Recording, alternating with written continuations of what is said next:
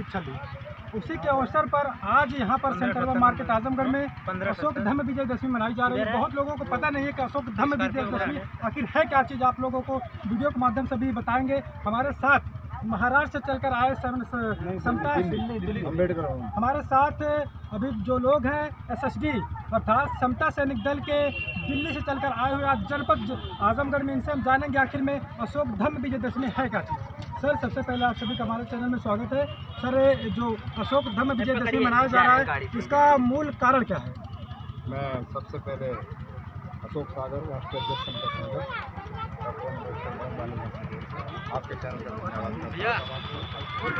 आज ऐतिहासिक दिन इसलिए बोला जाता है कि अशोक ने जब जन्म दीक्षा ली थी तो लाखों लोगों ने उनके साथ भी अनुयायी बने थे और एक कलिंग युद्ध का आपने पढ़ा होगा इतिहास में कि कलिंग युद्ध के बाद उनमें परिवर्तन आया था और बुद्ध की संग में चले गए तो इसी तरह बाबा साहब डॉक्टर अंबेडकर ने जब इतिहास की जानकारी में आए तो उन्होंने भारत से बौद्ध धर्म जो लुप्त प्राय हो गया था एक तरीके से पुनः विस्थापित करते हुए ऐतिहासिक दिन अशोक विजयदशमी का क्योंकि जब बाबा साहब ने छप्पन में नागपुर की पवित्र भूमि पर दीक्षा ली थी दस लाख लोगों के साथ, उस समय चौदह तारीख पड़ी थी सन छप्पन में। लेकिन दिन तो अशोक विजयदशमी का ही इसलिए भारत में जो भी हमारे अम्बेडकरवादी हैं, बहुत अनुयायी हैं, वो तारीख के हिसाब से भी मनाते हैं अशोक विजयदशमी इसलिए इसमें निर्णय लिया गया कि इस पर्व को दोनों तिथियों में मनाया जाए लगातार।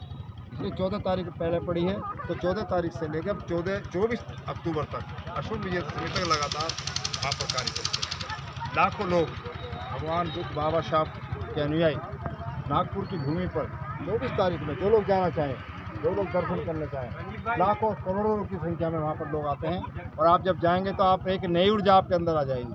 जैसे आपका मोबाइल रिचार्ज होता है ना, इस तरह जितने भी अनुयायी हैं, जब वहाँ जाते हैं तो दोबारा से आंदोलन के प्रेरित हो जाते हैं। तो ये बहुत महान दिन है, मुक्ति का दिन है।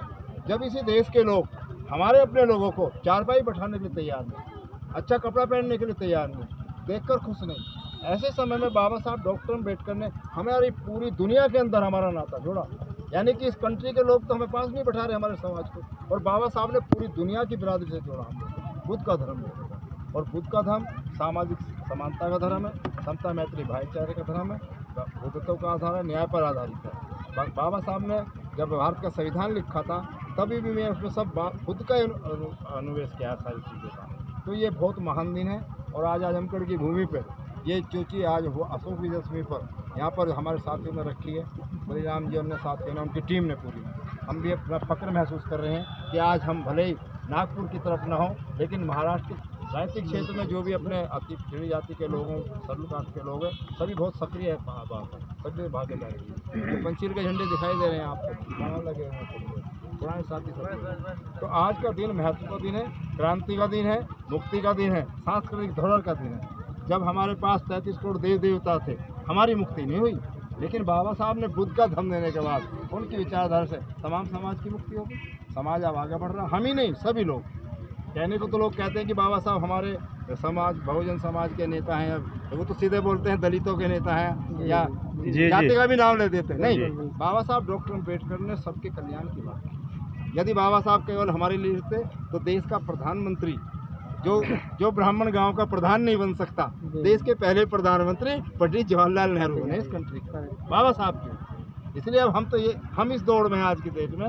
हम संकल्प लेके भी जा रहे हैं जनता में भी कह रहे हैं कि 2024 में चुनाव होने जा रहा है सबके प्रधानमंत्री बन गए, पिछड़ों के बन गए और सामान्य के बन गए, जिनका नाम भी नहीं पता था वो प्रधानमंत्री बन गए। इसलिए समाज को जागरूक कर रहे हैं कि 2024 में प्रधानमंत्री शेड्यूल कास्ट की तरफ़ से बनना चाहिए और शेड्यूल कास्ट में भी वो हो जो बुद्धिज्म पर काम करता हो, बाबा साहब पर काम करता हो, इसमें आगे कहने की बात नहीं है। उत्तर प्रदेश इससे सबसे बड़ा सवाल एक भी निकल के आता है, लेकिन आज अगर देखा जा रहा है, न तो बुद्ध धर्म आगे जा रहा है। अभी बिहार में हाल ही में जाति जनगणना हुआ है वहाँ पर one percent zero minus one percent मतलब एक परसेंट भी लोग बुद्धिस्ट नहीं है और पूरे भारत में अगर ऐसी जनगणना होगी तो क्या लगता है कि एक परसेंट भी बुद्धिज्म निकल पाएँगे? इसका कारण मैं बताता हूँ, जो जनगणना करने जाता है कोई भी व्यक्ति, ज़्यादातर टीचरों की ड्यूटी लगती है और ज़्यादातर क्योंकि वो उसी मानसिकता से ओतप्रोत होते हैं, हमारे समाज के लोगों को छोड़कर। वो बिना बताए ही हमारी बस्तियों की तरफ़ जाते हैं और हमसे वार्ता करे भी नहीं, अपने आप ही लिख लेते हैं हिंदू धर्म हमारा। वो हमसे संपर्क ही नहीं करते। जी जी इसलिए जी। हमारे बस्ती में अगर वो पूछेंगे भाई आप कौन से धर्म के? तो हमारे सारे लोग या तो अम्बेडकरवादी बता देंगे या बौद्ध धर्म बता देंगे। सेंसेक्स में इसलिए नहीं आ रहे हमारे लोग। जनगणना में इसलिए दिखाई नहीं पड़ रहे कि वो जाने वाला वहाँ पर बस्ती में उनका धर्म नहीं पूछता अपने आप ही राइट का टिक लगा देता है। Yes, इसलिए yes. आप लोग सब सचेत रहें। अगर जनगणना आप द्वार द्वार पर आए तो आप सचेत रहिए। धर्म का अगर कोई कॉलम हो तो बौद्ध धर्म लिखिए। अपने बच्चों के सर्टिफिकेट में बौद्ध धर्म लिखिए। जब आपका एडमिशन कराएँ बौद्ध धर्म लिखिए ये आपका व्यक्तिगत चीज़ है। आप किसी भी धर्म में भी अपना सकते हैं। और बाबा साहब के बाद भगवान बुद्ध के धर्म को अपनाने के बाद आपके आरक्षण पर कोई फ़र्क नहीं पड़ता। भारत के संविधान में व्यवस्था है कि यदि हिंदू धर्म का कोई व्यक्ति सिख बनेगा या बौद्ध बनेगा तो उसे आरक्षण की सब सुविधा मिलती है। तो ये हमारा दोष नहीं है।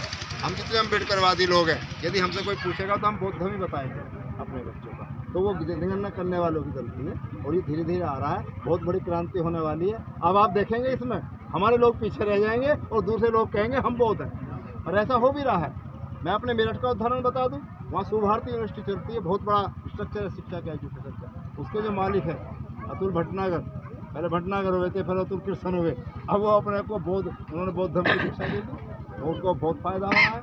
सारे कंट्री से उनके पास बच्चे आ रहे हैं, पढ़ने के लिए आ रहे हैं। तो बुद्ध का धर्म तो सबके कल्याण कर दिया तो हम तो अपने लोगों से समझा रहे हैं। सबसे बड़ी बात, हमारे लोग आपस में जो भी हमारे शेड्यूल कास्ट की जाते हैं, आपस में बातचीत करिए, एक दूसरे व्यवहार करिए, आगे बढ़िए। इस चीज़ को छोड़ दीजिए, क्योंकि हम भी थोड़ी बहुत कहीं ना कहीं इसमें अपने आप भी छुआछूत करते हैं। जी जी जी बिल्कुल। जाटव खटीक धोबी पासी ये सब करते हैं। चमार धोबी जाटव खटीक आजकल अगर देखा जाए डॉक्टर अंबेडकर ने कहा था अगर किसी समाज में अगर कोई उत्थान होने वाला तो आने वाला युवा जो है उसका उत्थान लेकिन युवा में अगर देखा जाए द ग्रेट चमार का प्लेट लगा के घूमते हैं द जाटव का प्लेट लगा के घूमते हैं ऐसा क्यों कर रहे हैं युवा? हाँ हम उसका हम उसके उन बच्चों को समझाने की कोशिश करते कर रहे हैं कि अगर आप जितना भी जातिगत आधार पर किस चीज़ को प्रभावित करेंगे तो आप ब्राह्मणवाद को ही कोशिश कर रहे हैं। कोई ग्रेट नहीं है। ना ग्रेट चमार ग्रेट है ना जाटो ग्रेट है ना वाल्मीकि ग्रेट है।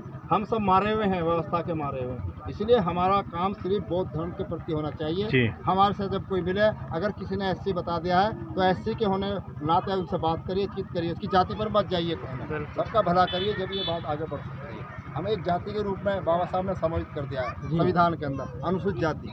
उसी के अंदर छियासठ जाति उत्तर प्रदेश में। अब छियासठ जाति आती है। तो सब में प्रेम भाव बढ़ाइए, आगे लाइए पंचील का झंडा ले जाइए। सब मानेंगे क्यों नहीं मानेंगे? अच्छी बात होगी हमारे मेरठ में अपने जेपी जेपी सिंह साहब हैं। हालाँकि पूर्व में वो अपने वाल्मीकि समाज से हैं, लेकिन आज पूरा झंडा पंचील का उठाए हुए समाज को समझाना काम कर रहे हैं। पूरे